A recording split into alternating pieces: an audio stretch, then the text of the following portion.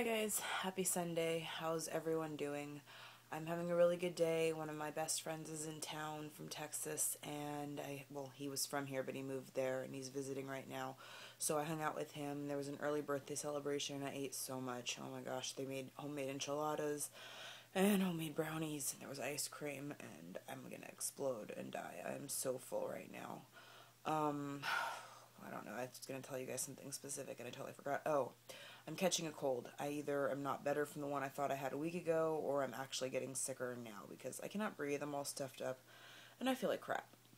And I have to go to work tomorrow anyway and it's already like 15 minutes until my bedtime. So with that, I'm going to go so I can take a shower and pass out as soon as humanly possible so that I can get up and do it all again tomorrow.